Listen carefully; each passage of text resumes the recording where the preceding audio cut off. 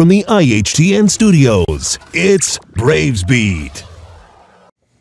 Mama, I can't talk right now. I'm on Braves Beat with West. I'll put the potatoes in the oven when I get home, all right? All right. Love you. Bye. Who's that? Mr. Flint? Okay. You ready for spring break? Totally. All right. Let's get into the news then. Last weekend, we hosted our first tailgate for the boys lacrosse game. It was like totally rad. We had the cornhole, grilled up some beef, pizza, and chilled. Stay tuned for our next scheduled tailgate. We hope you'll be there. Well, the weather was totally wigging out this week. Actually, West, it was pretty normal weather for Cincinnati. Yo, Indian Hill, I'm your weatherman today, Ahmed Ali. And as you can see, we're in springtime, the sun's blossoming on these beautiful trees, and on this field right behind me, 5 o'clock p.m., we're, you're gonna need to wear nothing at all because it's gonna get really hot again. However, when we leave school today, the weather, unfortunately, will be about 16 degrees Fahrenheit. Boom. Yo, Indian Hill, I'm here, your weatherman today, Ahmed Ali. Uh, to, to, I'm here to tell you all uh, that looks like it is snowy. As you can see, there's a lot of snow on the ground and everywhere. Two inches of snow. Uh, whoever's car this is, I don't know how you got to school this morning with all the snow flying into your uh, to your window. Uh, and there's a lot of snow on the top. I don't know how you got here. Well, what? There's you can't even see from the back. How did you get here?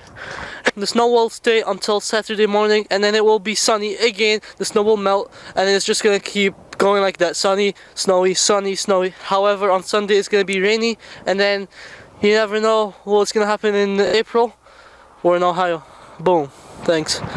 Last Sunday, for the sixth year in a row, the boys and girls lacrosse teams participated in the 5K Heart Mini Race in honor of the boys coach, Tim McKay, and his family. Junior Ellie Rabinold and freshman Robert Rudy Brunner were the first from both teams to cross the finish line. Both teams ended up raising a total of $5,500 for the American Heart Association. Sweet. Amazing job, Laxers.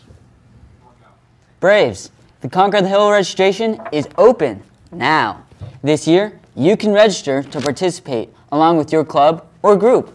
Go to this link, then scroll down to upcoming events to register for the race. The race is on Saturday, April 21st, and if you have any questions, talk to Mr. Schonauer.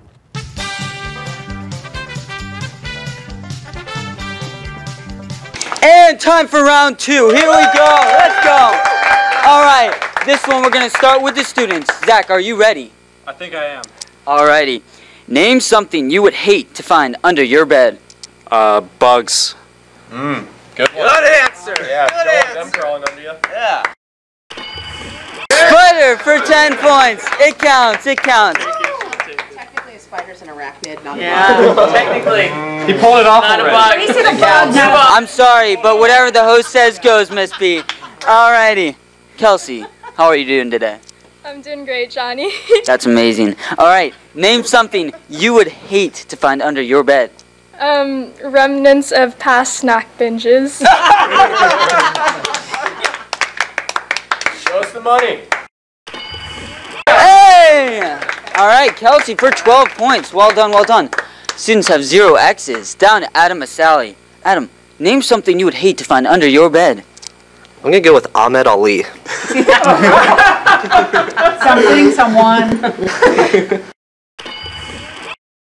A person for three points. Miss Sally. All right.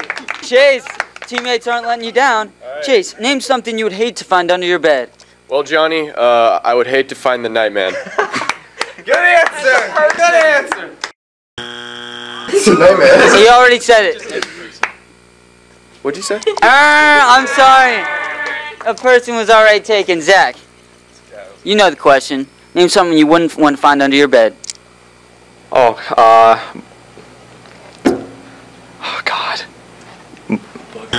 Ah, I'm sorry. He could not answer in time. Kelsey, you just got two strikes. Tell me, what would you not want to find under your bed? um, a small rodent or animal of any sort. Yeah. Kelsey for eight points. All right. We're rolling here. We still got three answers up on the board. Adam, what would you not want to find under your bed? A monster. For 43 points. All right. Chase.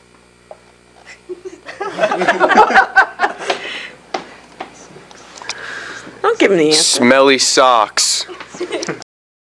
That is not right. We're swinging it over to the teachers for a big steal. Can they steal? Miss B.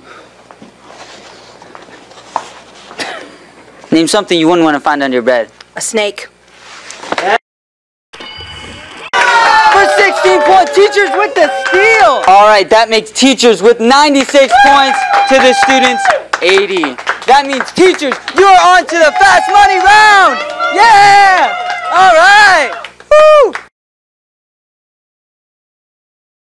Last Wednesday, our choir orchestra Braves made their way for a long weekend trip to the Big Apple. They put on a gnarly performance at the Cathedral of St. John the Divine, Madison Avenue Atrium, and more. Wow. Okay, same guys, same. Well, amazing job, Braves. The race for the Indian Hill Hallway Wheelchair Race is back. Let's check it out and see who won. Let's go, boy. You got this, boy. Get. Easy money. Get this, boy. Easy money, Johnny G. He thinks he's better than you. You're better than yourself.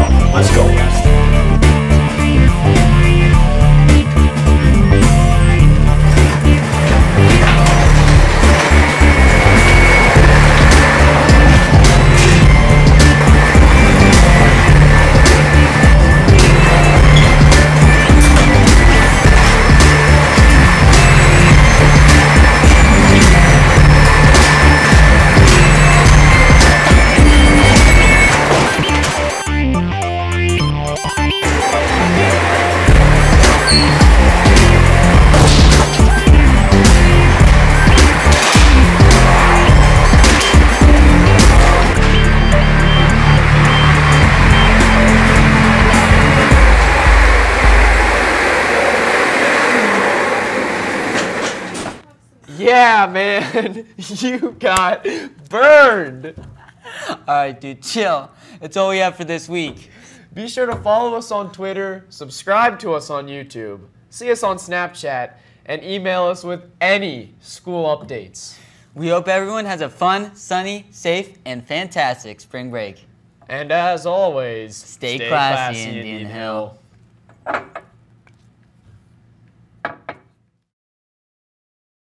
Villanova. Villanova. Vananovia. Jay, are you aware that your prediction on last week's episode came true? Um, yes, I'm aware. It was destined to happen. University of Maryland, Baltimore County. Oh, shut up. Shut up. I had Virginia. Virginia. It's a depressing day. I, I don't know baseball. Get away from me.